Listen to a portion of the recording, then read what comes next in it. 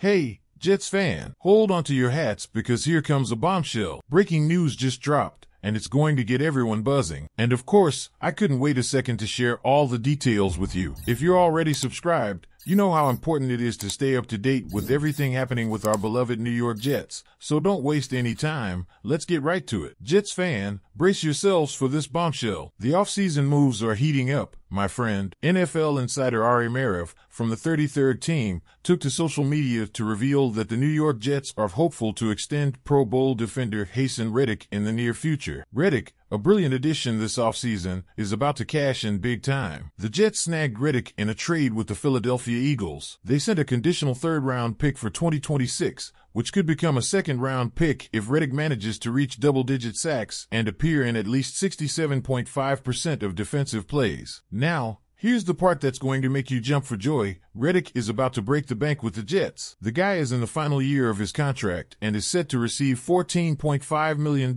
in cold hard cash in 2024. Several QB hunters have already secured big bucks this offseason. Four of the highest paid edge players in the NFL inked new deals in 2024, according to Over the Cap. Josh Allen of the Jacksonville Jaguars signed a five-year deal worth $141.25 million.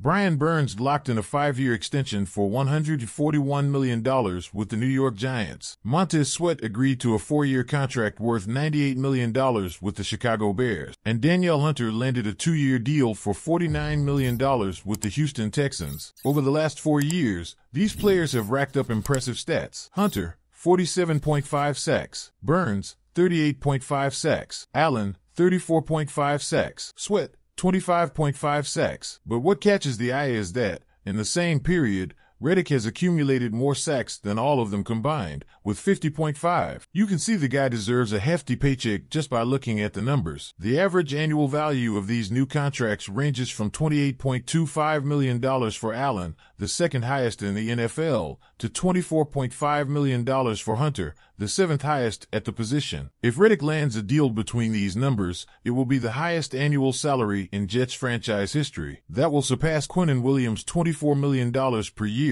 in his $96 million extension. The Jets have a very clear mindset in these negotiations with Reddick. They want to maximize Aaron Rodgers' championship window. Aaron has already said he doesn't want this to be a one-time thing with the Jets. That means he'll be here in 2024 and 2025, and anything beyond that is speculation. Reddick is only under contract until 2024, so it makes sense to extend for another year or two to coincide with Rodgers' time with the Jets. They could also play the compensatory picks game, letting Reddick play out the final year of his contract. In this scenario, Reddick would be highly motivated to chase that last big contract. If he were to hit free agency in 2025, the Jets would have the chance for a high quality compensatory pick in 2026. That could balance out the initial trade to acquire him. If Reddick signs a big contract with another team, the Jets would have the chance for a third round compensatory pick, which is the same price they gave the Eagles for Reddick. Either way, this trade is going to be a win for the Jets. They acquired one of the NFL's best QB hunters for a third round pick for at least one season and maybe more. That's fantastic. Go Jets!